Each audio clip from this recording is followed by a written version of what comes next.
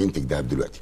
لكن أنا اللي بطلبه أو إحنا اللي بنطلبه إن هذا المنجم ممكن يكون سامح. فهمي عبد المأمور والأسر اللي لا بتاع مش ممكن. هو قال في التحقيقات كده. هو هو له قال يا يعني إخوانا عيلة أنا بتقولوا راجل عيلة ثابت وعيلة ما يبقى بقى كان بيجي له أمر يتقال له هو نفسه قال كده في تحقيقاته قال إن أنا ماليش علاقة بالكلام ده أنا جيت وزير بترول علشان أوقع على اتفاقية الغاز. آه. أنا جيت وزير كذا علشان أوقع على الدو... أنا كنت بمضي بيجيبوا لي الورق ده نص تحقيقات سامح فهمي يعني الراجل أنا بيعترف. سمعت كمان إن لما سمعت أنا يعني- قريت وشفت. يعني بتوعهم.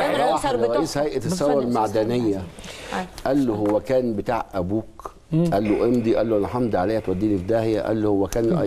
كانت بلد صح. أبوك. سامح فهمي. قال له امضي على فهمي إيه؟ قال لرئيس هيئة الثورة المعدنية. أي. بيقول له امضي على العقد الجديد بتاع المنجم. ما هو الاتفاقية خلصت. أي. فبيعمل الجديد. فبيقول له امضي عليه ده غلط. لازم تروح مجلس الشعب تاني. قال له هي كانت بلد أبوك. صح. قال له لا بلد أبويا ولا أبوك.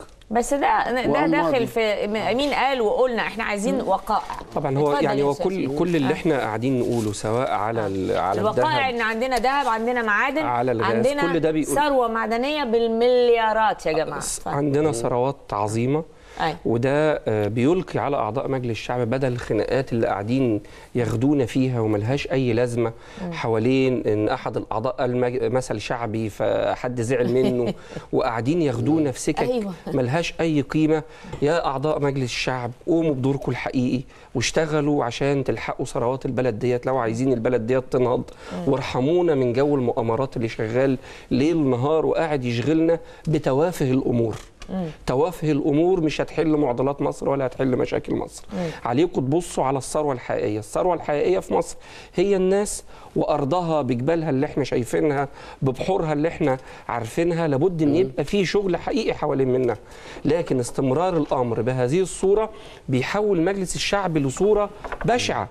ويعني هو أسوأ من مجلس الشعب مبارك بهذه الصورة للأسف أن أنا أقول هذا الكلام لأن الناس لما نزلت وانتخبت هذا المجلس كان عندها طموحات أن هذا المجلس يمثل شكل من أشكال الرقابة الحقيقية.